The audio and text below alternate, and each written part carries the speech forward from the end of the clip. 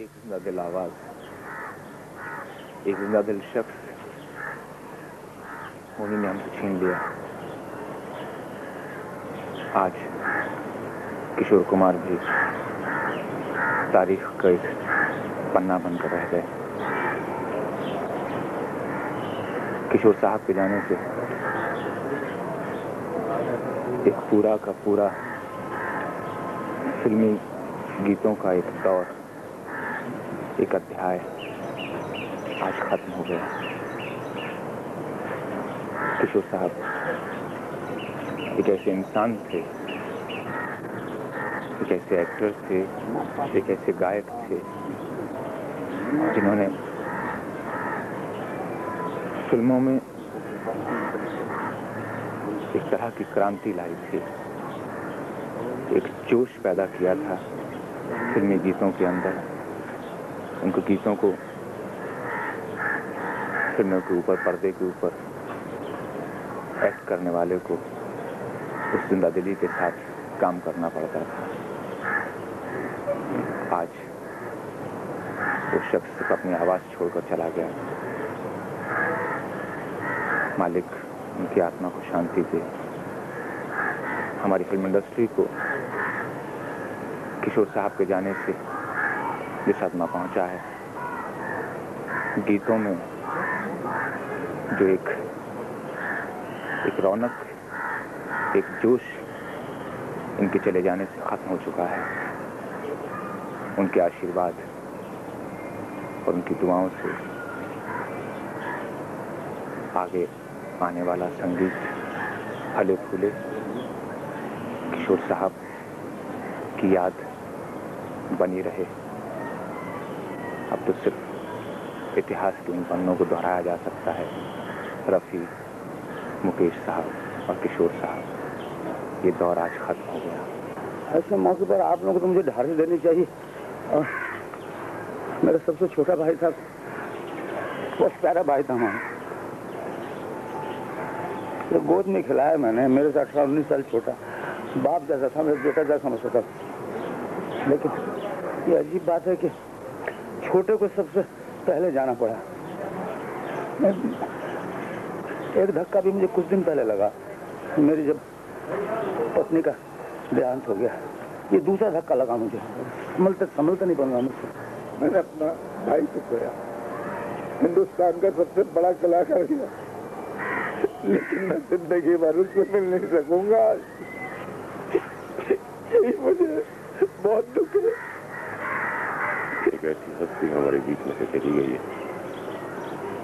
जिसका फौलाव कभी भी पूरा नहीं किया जा सकेगा। वो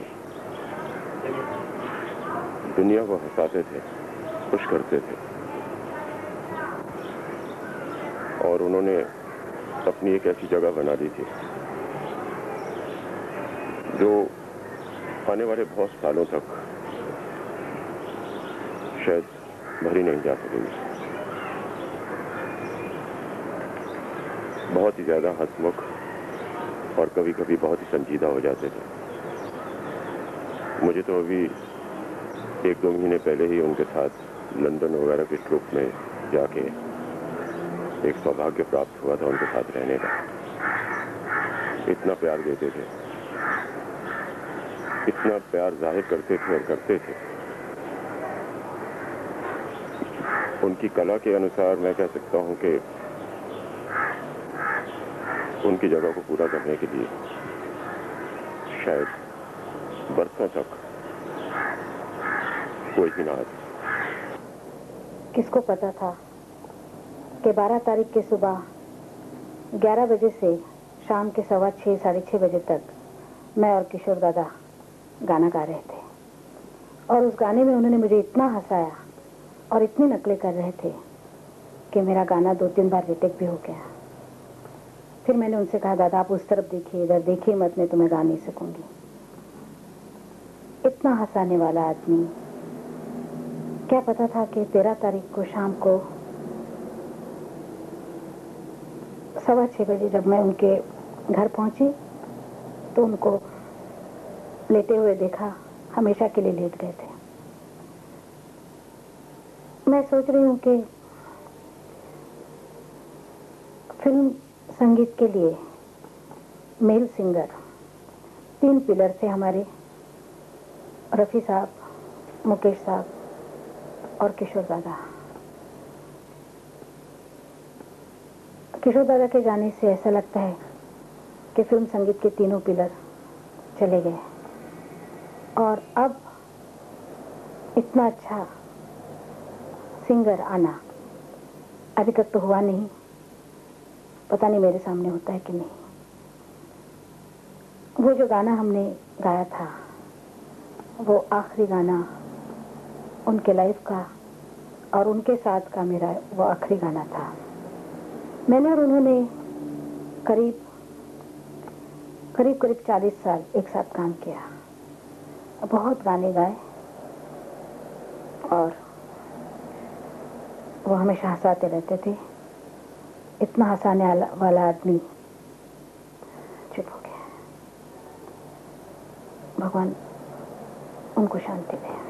कभी कभी ज़िंदगी में ऐसी घटनाएँ घट जाती हैं कि दिल मानने को तैयार ही नहीं होता तीन चार दिन पहले ही हमारी इरादा पीछे की रिकॉर्डिंग थी, जिसमें किशोरदा गाने वाले थे। तो मैं जब स्टूडियो में एंटर हुआ तो किशोरदा भी उसी टाइम एंटर हुए थे तो उनको दो रिकॉर्डिंग थी और जल्दी जाना था। तो हम पहुँचे तो लिफ्ट बंद हो गई।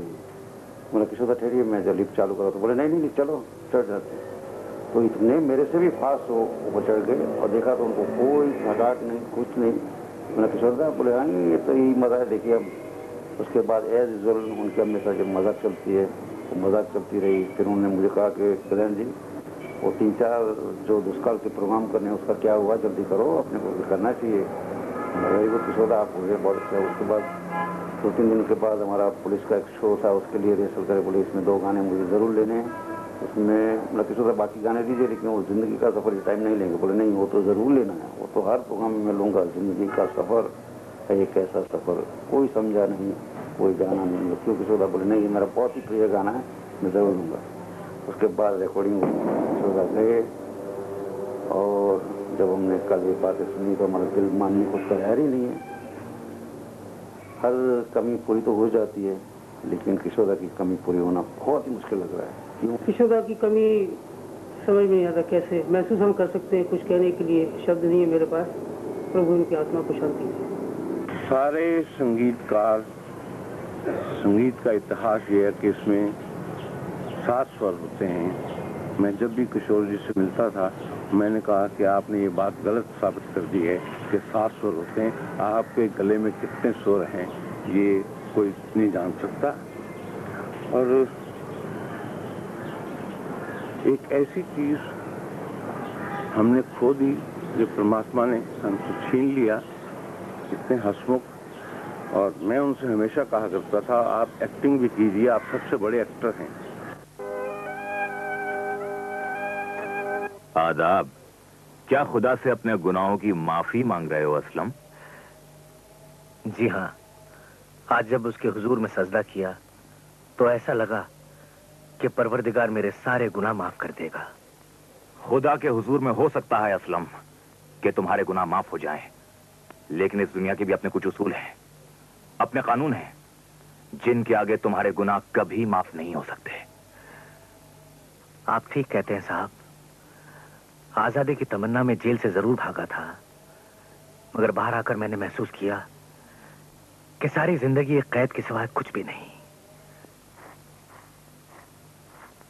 असलम, ये क्या कर रहा है? अपने आप को कानून के हवाले करना चाहता है? क्या तू समझता है कि तेरे पकड़े जाने से बच जाएगी? नहीं।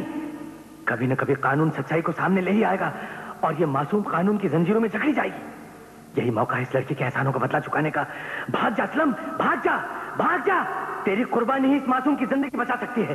तेरी कुर्बानी ही मासूम की ज़िंदगी बचा सकती है। मुकेश जी और रफी साहब के चले जाने के बाद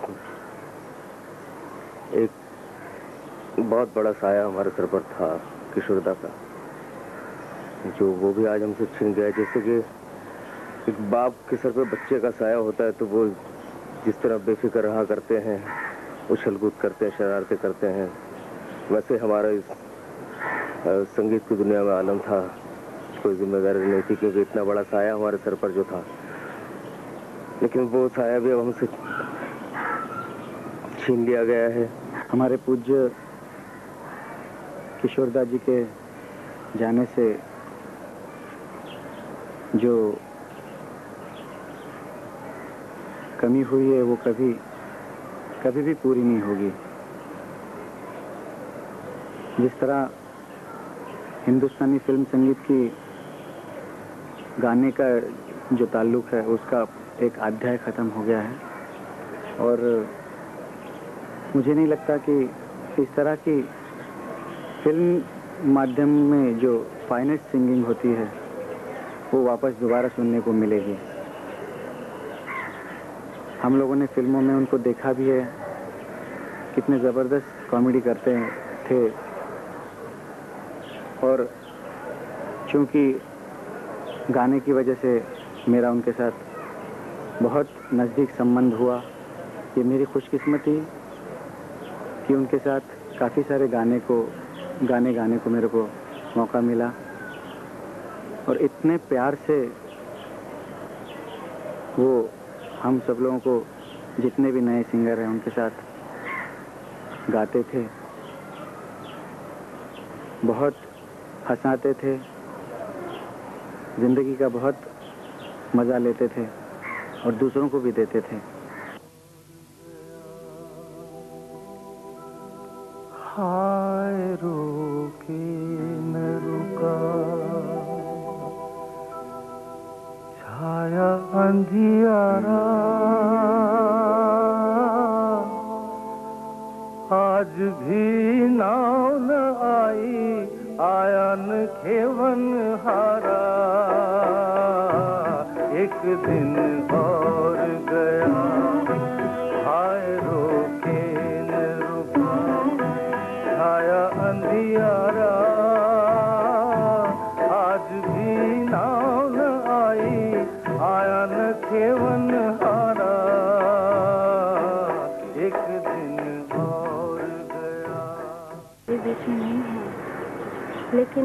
संगीत की दुनिया में ऐसे कलाकार होना बहुत बहुत मुश्किल है।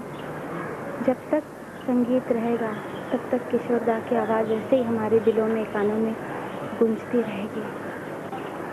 आज इंडस्ट्री के लिए बहुत बड़ा लॉस है कि किशोरदा हमारे बीच नहीं है। इतने अच्छे आर्टिस्ट थे कि उनके बिना कुछ समझ में नहीं आता है कि कैसे ये इंडस्ट्री में हम लोग और कभी किशोरदा के गाने नहीं सुन सकते। पर आज हमारे बीच नहीं रह के भी उनकी आवाज़ हमेशा के लिए हम लोगों के बीच ज़रूर रहेगी। ऐसे वक्त पर कुछ भी कहना बहुत मुश्किल है सही शब्द नहीं मिलते। एक बहुत बहुत महान कलाकार जिनका जोड़ नहीं एक बहुत हंसमुख इंसान थे वो। It was a treat to know him and to sing with him हम लोग उनको बहुत मिस करेंगे। उनकी आवाज़ हमारे साथ है। अब इतना कह सकते हैं कि भगवान उनकी आत्मा को शांति दे। ऐसा जीनियस आर्टिस्ट संगीत में, हमारा फ़िल्म इंडस्ट्री में, हमारा ज़िंदगी में तो नहीं देखा। और हर स्टाइल का गाना गा सकते थे। और बड़ा प्यार था इनके अंदर। हमसे जब ही मिलते थे, गले मिलते थे। किशोर गया। उसकी रिप्लेसमेंट होगी याद रहेगा? बस यही एक रहे थे ईश्वर उसकी आत्मा को शांति दे। बाकी लोग कहते हैं, मर गया, मैं कहता हूँ, नहीं, वो तो अमर हो गए। जब तक उसकी आवाज़ है ज़िंदा ही रहेगा। जिनको भगवान कुछ नहीं देता तो दौलत छोड़ जाते हैं, जायदाद छोड़ जाते हैं अंपायर छोड़ जाते हैं। और जिनको भगवान कुछ थोड़ी सी गिफ्ट देता है, वो अपना नाम छोड़ जाते हैं क्योंकि हज़ारों साल तक नहीं खत्म हो सकता। उनमें से एक किशोर कुमार थे। यकीन नहीं आता, लेकिन ये हकीकत है कि अब वो हमारे बीच नहीं रहे। हमारा उनका बरसों का साथ उन्होंने मेरे बेशुमार गीत गाए।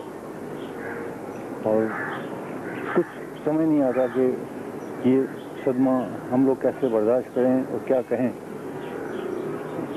मुकेश साहब गए, फिर रफ़ी साहब गए, अब ये भी चल दिए हमारे फिल्मी संगीत की दुनिया में अंधेरा ही अंधेरा छा गया। किशोर दादा, आज हम में, हम हम बीच से हमें छोड़कर अपने परिवार, अपने दोस्तों को, अपने चाहने वालों को छोड़कर चले गए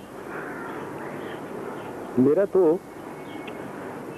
एक पर्सनल दोस्त पर्सनल लॉस है, क्योंकि हम लोगों ने इकट्ठे स्ट्रगल की। 52 में पहली या दूसरी पिक्चर मेरे साथ वो हीरो थे। हम और महमूद भाई और किशोर दा हम लोग आपस में अपने स्ट्रगल की बातें करते थे, कैसे होगा, हम लोग कैसे तरक्की करेंगे, कितनी मेहनत करनी है, कैसे करनी है। तो ये सब चलता रहता था। किशोर दा ने घुंघरू की तरह बजता ही रहा हूँ मैं गाकर। मेरे उस गीत को अमर कर दिया। तब से लेकर आज तक बहुत से गीत गाए। और मैं तो यही दुआ करूँगा कि उनकी आत्मा को ईश्वर जहाँ भी रखिए। आराम से रखें, शांति से रखें। और एक कथा पेश करता हूँ। इंसान की अच्छाई, इंसान का अपनापन, याद उसकी दिलाता है जो पास नहीं होता। आवाज़ का जादूगर, गीतों का ये शहजादा, अब पास नहीं, अपने विश्वास नहीं होता।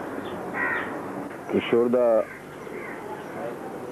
फिल्मी दुनिया के संगीत वर्ल्ड में एक गायक ही नहीं, बल्कि एक अपनी तरह की युक्त है।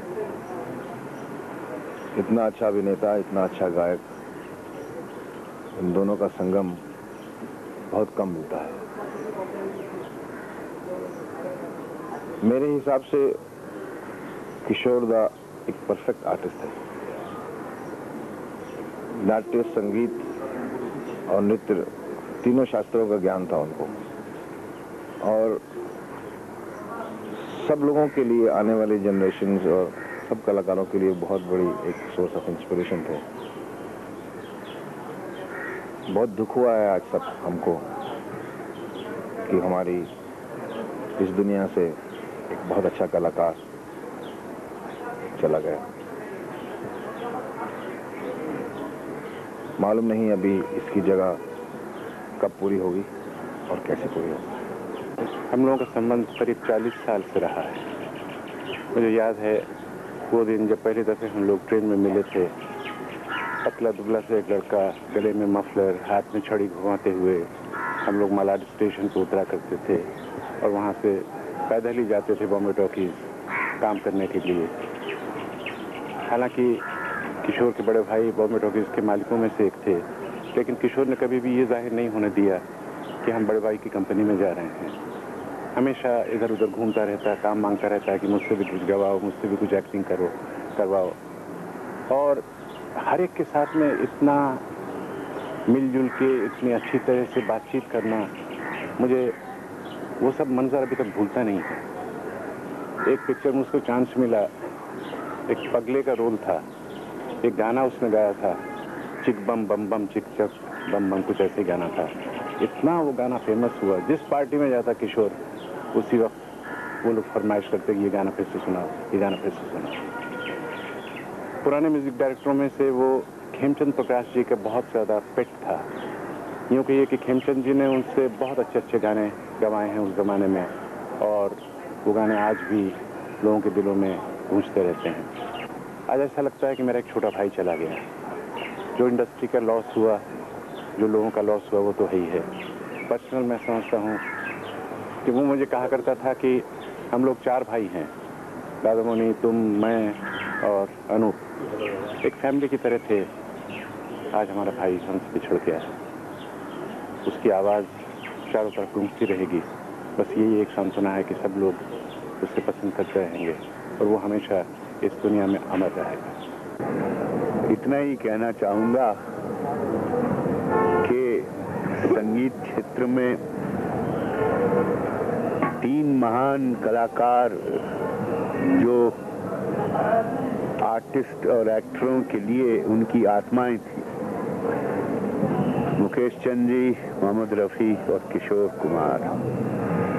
ये आखिरी स्तंभ भी आज चला गया हमने से।